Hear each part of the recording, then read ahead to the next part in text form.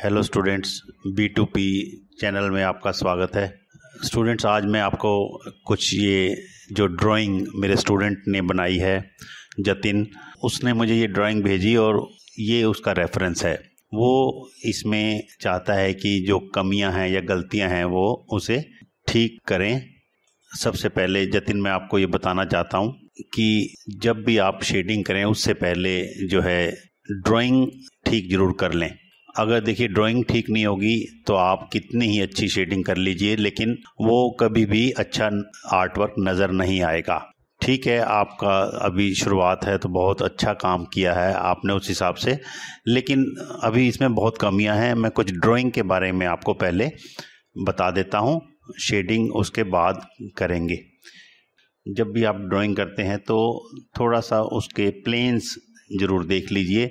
कि angle planes उसका face का जो है, किस दिशा में, किस डायरेक्शन में जा रहा है फेस और उसका प्रपोर्शन क्या है? नोज़ और माउथ जो है, कितने डिफरेंस पे है? इसी तरह से आईज़ का डिस्टेंस बीच में क्या है? जैसे यहाँ पर देखिए, ये आईज़ यहाँ पर काफ़ी, लगभग दो ढाई आईज़ का डिफरेंस है इसके अंदर। देखिए, आपका यहाँ पर एक आई का डिफरेंस है। तो ये कितनी बड़ी मिस्टेक है? तो ये मैं आपको अभी बता रहा हूँ, देखिए। ये देखिए, इसका डायरेक्शन क्या है? सबसे पहले आप देखिए, इसका डायरेक्शन चेहरा जो है, इसका फेस है, किस तरफ़ डायरेक्ट कर रहा है किस तरफ़ इसकी डायरेक्शन है? सपोज़ मैं ये एक लाइन की हेल्प से आपको समझा रहा हूँ, ये देखिए। और जबकि आपके आर्ट वर्क में, ये देखिए, अगर मैं ये लाइन यहाँ पर लेता हूँ तो इसका सेंटर पॉइंट जो हेड का है और ये आपका हेड का सेंटर पॉइंट कहाँ आ रहा है। तो ये आप क्लियरली देख सकते हैं आई का डिफरेंस यहाँ से आई जो है कितनी डिस्टेंस पे है, ठीक है? इसी तरीके से मैं आपको ये आईज का बता रहा हूँ, देखिए। इस टाइप से आप अपनी जो गलतियाँ हैं, एक बार ज़रूर देख लें ड्राइंग में, उसके बाद ही आप इसमें आगे शेडिंग करें।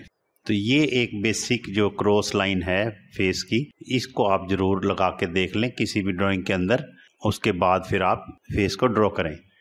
तो देखिए आप कितनी बड़ी मिस्टेक जो है ड्राइंग के अंदर है।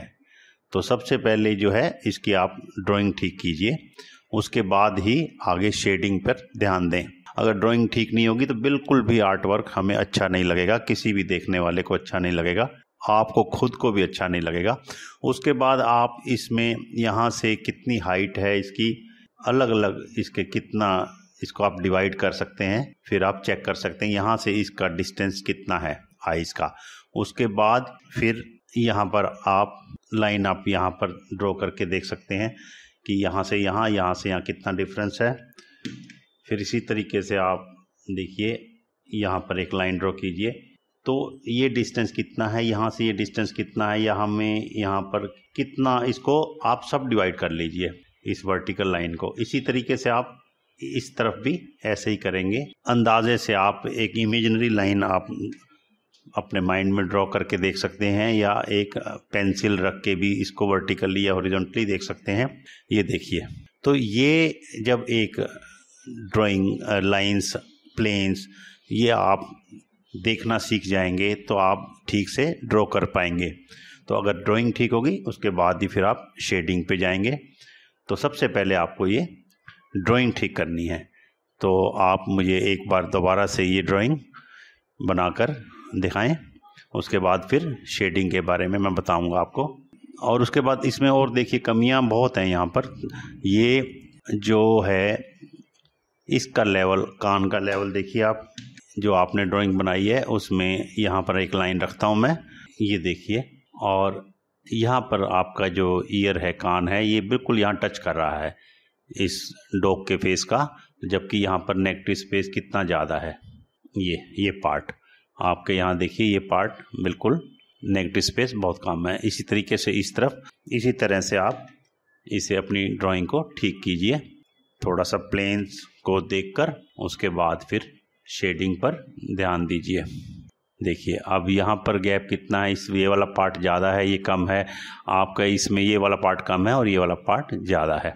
ठीक है, क्योंकि ये सेंटर में ये गलत आया हुआ है आइज़ को इधर आना है, थोड़ा सा सारा एंगल चेंज हुआ हुआ है। तो एक बार आप इसे चेक कीजिए, उसके बाद फिर शेडिंग के बारे में बात करेंगे। मुझे यकीन है जतिन, अब आप इसे बहुत अच्छे से कर लेंगे। चलिए ऑल द बेस्ट दोबारा से बना के मुझे भेजिए। ठीक है। Thank you